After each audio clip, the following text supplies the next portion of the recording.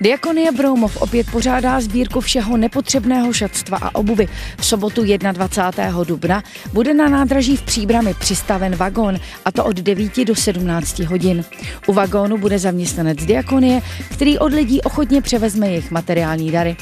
Občané mohou na nádraží dopravit pro ně již nepotřebné ošacení, peřiny, lůžkoviny, prostěradla, záclony, ručníky, utěrky, deky, látky, nepoškozenou obuv, domácí potřeby, nepoškozené hračky, dále malé funkční spotřebiče jako konvici nebo fritovací hrnec, nebo bílé a černé nádobí.